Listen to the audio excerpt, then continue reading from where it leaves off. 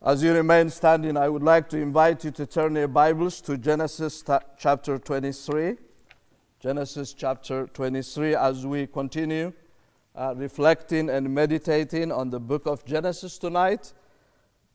We will be on Genesis chapter 23, and I will read it in the name of Jesus Christ, our Savior. Sarah lived uh, 170, 27 years. These were the years of the life of Sarah. And Sarah died at Kiriath Arba, that is Hebron, in the land of Canaan. And Abraham went to, to, into mourn for Sarah and to weep for her. And Abraham rose up from before his dead and said to the Hittites, I am a sojourner and foreigner among you.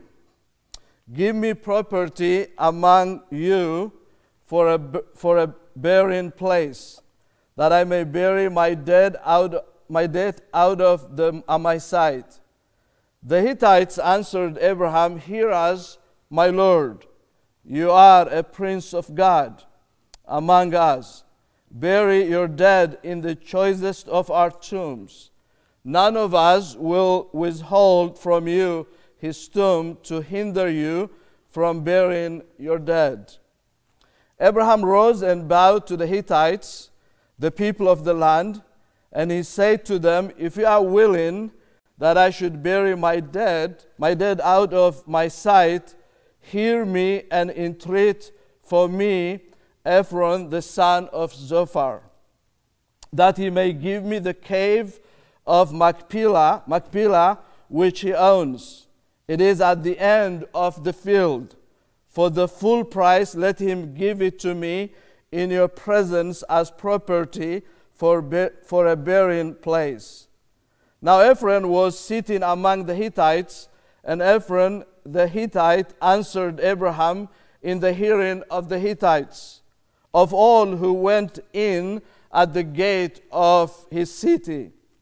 No, my Lord, hear me. I give you the field, and I give you the cave that is in it. In the sight of the sons of my people, I give it to you. Bury your dead.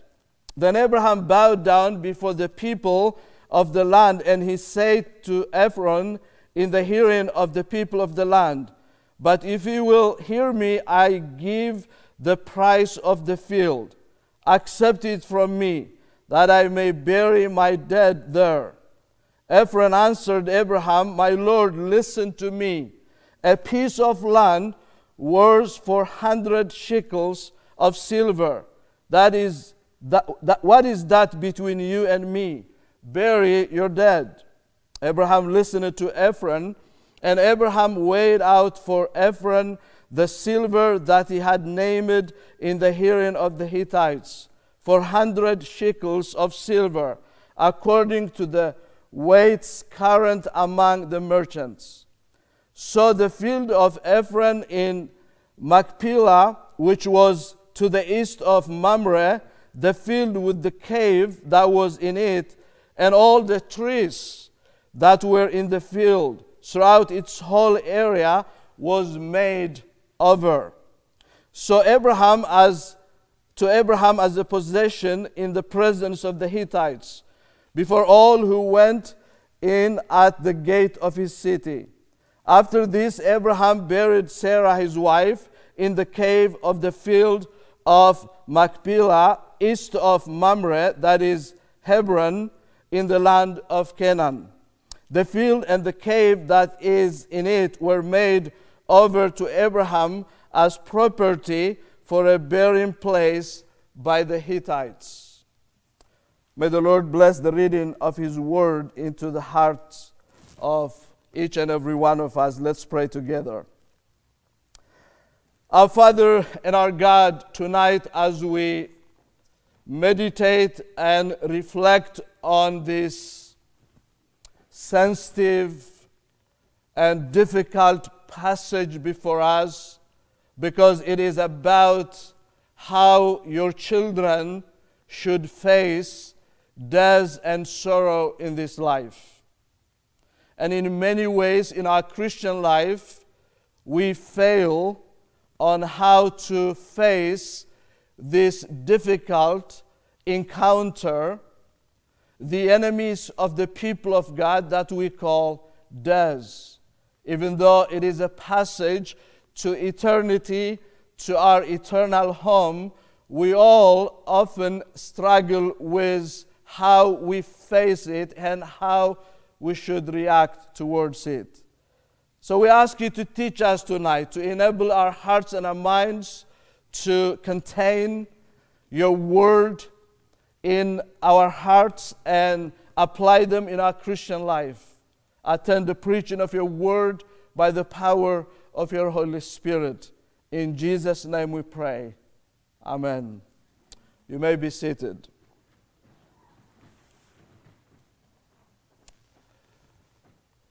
Tonight, I would like to start my preaching for tonight by asking you this question.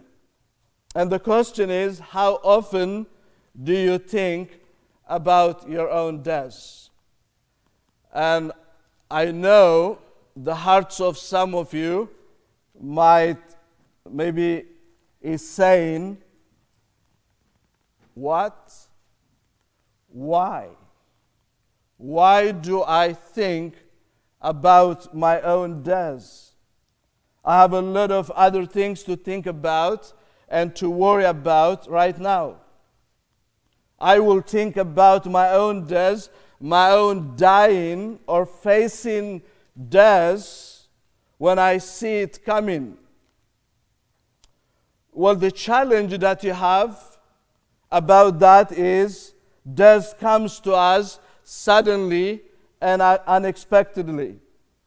In fact, the two events in life that we cannot avoid and will come to us like a thief are the return of our Lord Jesus Christ and death.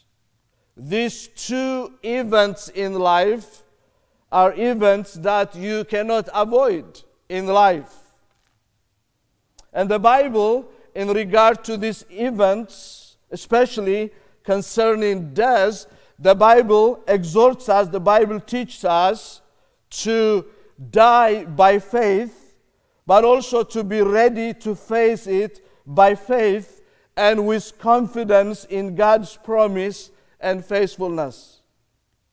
And tonight, you see, the text before us teaches us that we all need to learn and need to be reminded from Abraham's life that our faith, the faith that God has given us by the work of the Holy Spirit in our life, should go beyond the grave, should look beyond the grave.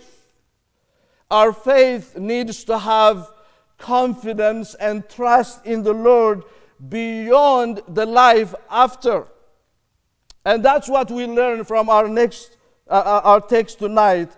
After his beloved wife Sarah died, Abraham faced the death of his loved one with faith that looked beyond the life after.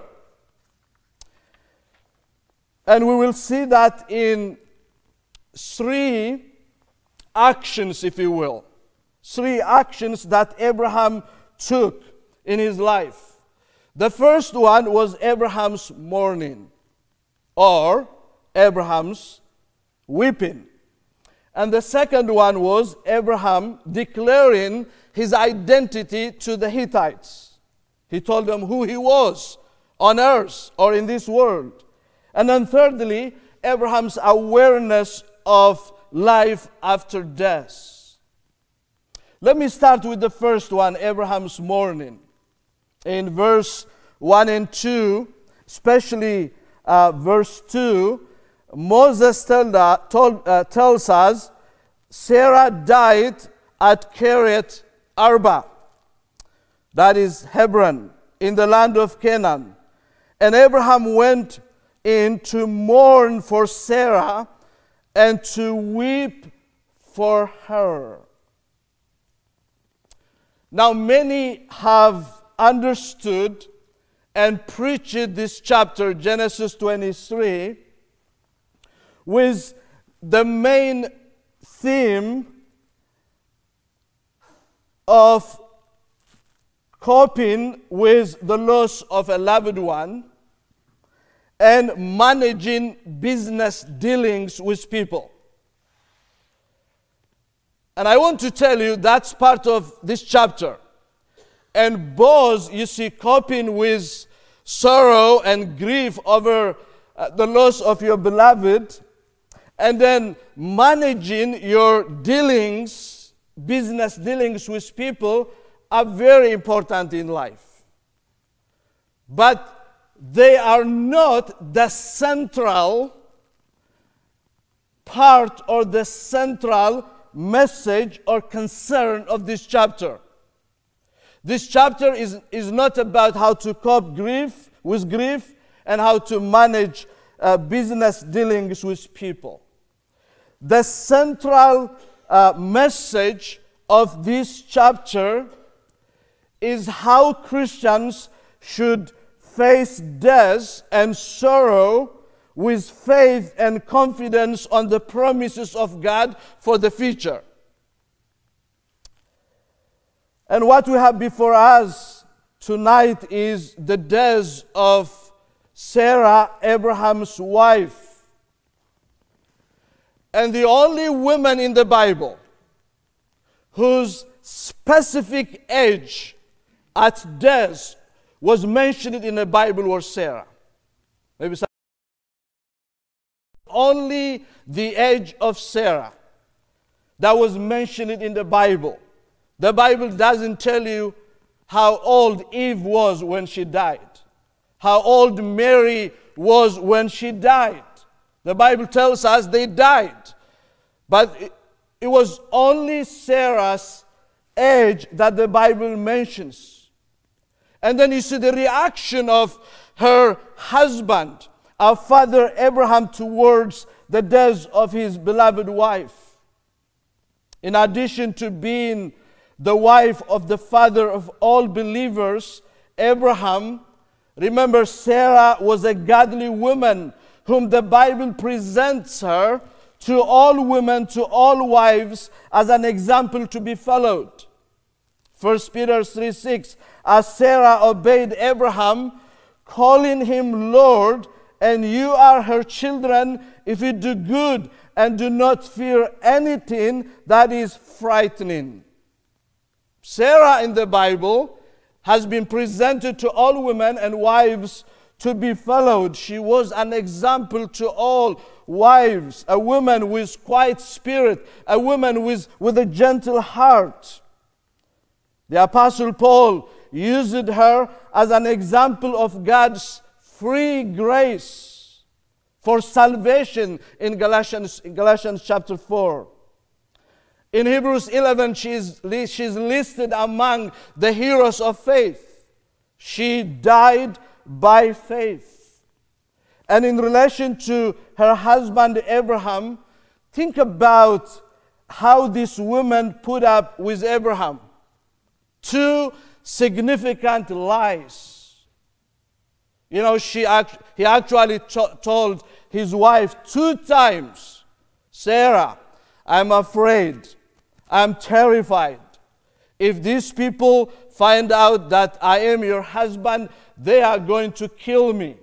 So I want you to lie. I want to tell them that you are my sister. Do you see Abraham telling to her husband, What? I thought I married to a hero, but you are a coward. Sarah never said that to Abraham. She did what Abraham wanted her to do. And when she died, you see, when she died, Abraham was completely broken. In verse 2, in verse 2, we uh, see him mourning, grieving, over the death and the loss of his wife. And the lesson to all of us as Christians is weeping over the, do- the death of a loved one is not unchristian. We should always remember that. Some people they say Christians should never cry over the loss of a loved one. Christians should never weep. But uh, when, they say, when they say that to you, remind them that even Christ wept over the death of his beloved friend Lazarus.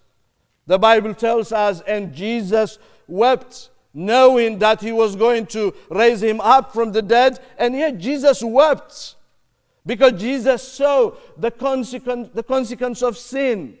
What sin, what misery sin has brought to the world and to the people of God. And thinking about that, reflecting on that, Jesus couldn't help than weeping over the loss or the death of his friend Lazarus. Paul in 1 Thessalonians 4 13 tells us this, but we do not want you to be uninformed, brothers, about those who are asleep. The believer's death is like they, they go to sleep that you may not grieve as others do, who have no hope, Paul said. You see what Paul is saying? Grieve, weep, mourn, but don't do that the same way that the unbelievers do it, being without any hope in Christ and in the life to come. Grieve, mourn, weep. That is normal. That's acceptable. It's not sinful. It's not uh, something that would displease God. Jesus himself wept. I don't think he was offending his father. It was normal. It was not un- uncommon or abnormal for Jesus and for us as believers to weep and mourn over the death of our beloved. This confirms to you two things. First, we all will die. All people will die, whether they are believers or not. We all will die. And then it also confirms you that it is okay for believers to mourn and weep over their loss. But as believers, as believers, David mourned over the loss of his own child. He wept, he mourned. You see him sitting on mourning over the loss of his child. But at the same time, he was doing what? He was worshiping God. He never blamed God for the death of his child. In fact, he went into the, to the, the sanctuary and worshiped God. And you see Abraham here mourning, but you don't see Abraham blaming God for his loss. But we see him mourning, but not uh, blaming God. The wise king in Ecclesiastes 3 4 tells us this a time to weep and a time to laugh. To everything, turn. There is time that we uh, would need to weep and mourn over our loss. And there is a time that we need to laugh and rejoice. But notice what comes on verse 3. And Abraham rose up from before his dead and say to the Hittites. Verse 3 shows you that the time of mourning for Abraham was over. With the Jews, seven days. He mourned seven days over the loss of his beloved wife, and then he moved on. He rose up. He rose up to do what? To become a testimony for God for the love of God, for the covenant of grace. And we'll see how he did that. But verse 3 tells you that once our time of mourning and sorrow come to an end, we must move on as believers, having faith and confidence on what is waiting for us. In the case of Abraham, I think Abraham knew two things. Abraham knew that Sarah was a believer. Abraham knew that there is life after death. That's why he got up and, and he uh, moved on. And that's a wonderful uh, demonstration of Abraham's faith. Faith beyond the grave, faith beyond sorrow in this life. We have read in Hebrews 11, verse 9 to 16, 16, and you would remember what we read in our scripture reading Abraham, Isaac, and Jacob, but especially Abraham, live it on earth. They live it in a tent, but they lived it on earth as what? As sojourners and foreigners and strangers in the land, in the land that God gave them as a promise. And the writer of the Hebrews tells us they were acting and they were living as if they were passing by.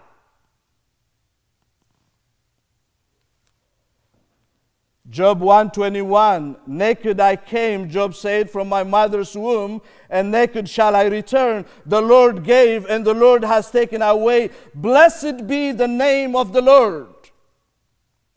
Naked I came to the world, and naked and naked I return to dust. And who should be praised for that, not blame it for that, but praise it for that. God, let God be praised for that. That's who I am, Job said. And Paul in 1 Timothy 6 7 tells us this For we brought nothing into the world, and we cannot take anything from the world. My brothers and sisters in Christ, do you always remind yourself that there is nothing in this world that you will take with you to heaven? Absolutely nothing. Whatever you own, whatever you possess in this life, including your own children, when you die, you are not going to take anyone, you are not going to take anything that you possess in this life with you. You will go naked. Naked you came, and naked you will go back to dust. Abraham believed in that. Not only believed in that, but he was convinced of that. He was convinced of that. And he comes to the Hittites it's amazing. He comes to the Hittites. He got up and he, he, he, he came to the Hittites and he tells them in verse 4 I am a sojourner and foreigner among you. Give me the property among you for a burying place that I may bury my dead, my dead out of my sight. It was not, you see, Abraham came to the Hittites and he told them, Would you uh, sell me a land? I want to purchase a land and build this uh, marvelous uh, house for my descendants. And then when I die, they will have a house. Well, Abraham said, I just want one thing. And I, I, I really want I, I really want this place. And it is a grave site. It's, it's, um, it's a plot for burying my dead. That's the only thing that you will own in this life. Your grave, your grave site. Job was right. Paul was right. But that was, you see, Abraham's testimony to the Hittites. It was no uh, no wonder why the Hittites called Abraham the Prince of God. Because of his testimony, because of how he was living on earth. Do you know, do you know what? Abraham never settled in this life. Never. He has no affection to land. He has no affection to any possession that this world would give. You will never find, if you go to Canaan, if you go to the promised land, you will never find any land or any city uh, that was called after Abraham, like Abrahamsville. You will not find that city. The only thing that you'll find is this tomb. And this tomb in the cave, in the cave in Mamre. And thirdly and lastly, his awareness of the life after death. Ask this question with me. Why do you think Abraham went all the way, extra mile, to secure a tomb for his wife and then for himself after and for his descendants after? And he bought this land by, with 400 shekels. That would be over 100,000 US dollars. Remember, King David bought a land for, uh, for the temple to build the temple, and the cost was 50, 50 shekels. So the amount of money or shekels that Abraham paid for this tomb was overpriced over the amount that David uh, paid for the temple. And in Abraham's culture, you see, the normal thing that people would do was to take uh, the body from another country, if, if, if the member of your family dies in Canaan, uh, and if you are a Jew, you go back to Canaan and you bury your dead in your own land. You don't see Abraham considering that. Abraham is securing a tomb here to bury Sarah in Canaan, not in uh, the Ur of the Chaldees, but in Canaan. I need to ask why. Why is Abraham doing that? The reason why Abraham was doing that was because Abraham believed in the promise of God. Genesis 12, 1 to 3, God promised Abraham, Abraham, I will give you this land to you and to your descendants. Two promises I will give you this land, I will give you offspring, I will give you uh, children. He, he believed in the promise of God, but he also believed, you see, in what? In God's promise for the future. In God's promise for the future. It was because of his firm belief in the hope of a future kingdom that Abraham secured the tomb. Do you know, after Sarah, Abraham was buried in this tomb, in this cave. After Abraham, Isaac and Rebekah was buried in this tomb.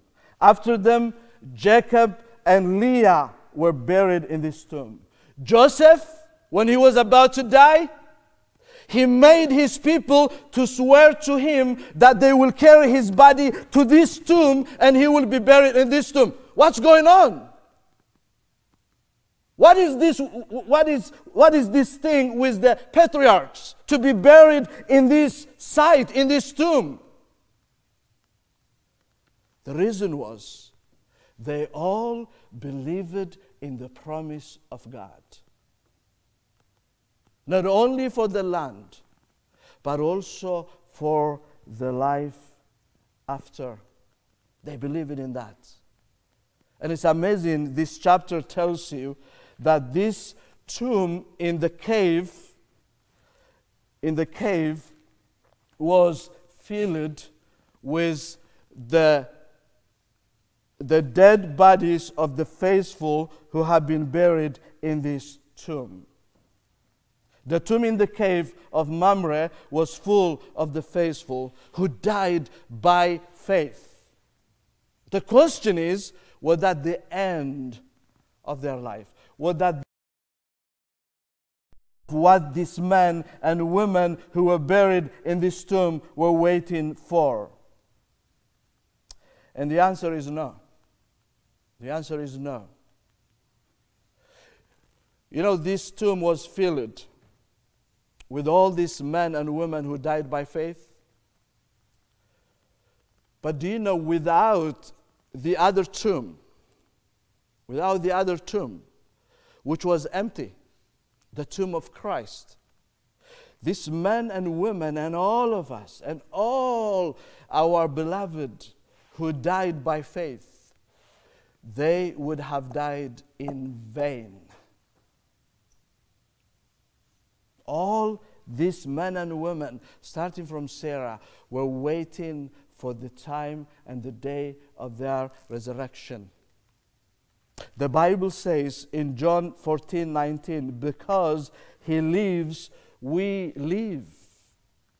And Paul in 1 Corinthians 15 20, he said, But in fact, Christ has been raised from the dead, the first fruits of those who have fallen asleep. For as by man, by one man came death, by a man has come also the resurrection of the dead. For as in Adam all die, so also in Christ shall be made alive. But each in his own order. Christ the firstfruits, then at his coming, those who belong to Christ, including all these men and women in this tomb all of us will follow the firstborn, Christ, who defeated uh, the power of death and he was raised from the grave, will follow him. Will be risen from the dead and we will live in heaven forever. That's your hope. Your final destiny is not this tomb. Your final destiny is not the land or the site where you will be buried. If that's the case, then Christ was not raised from the dead, and we are still living in our sin, and there is no hope for us.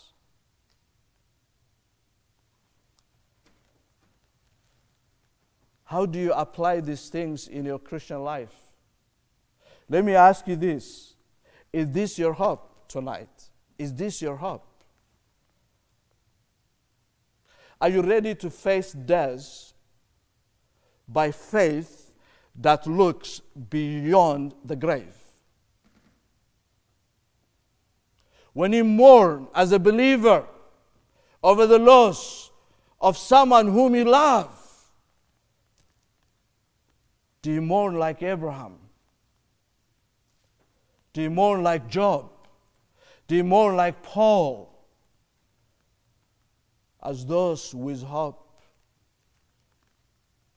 As those with hope. Which one dictates your life? Your faith in the promises of God for the future or your sorrow over, the, over your loss? You see, Abraham's life was dictated by his faith that was looking beyond the grave. My question to all of you tonight is Are you living as Abraham was living on earth? Do you consider yourself as a sojourner and foreigner?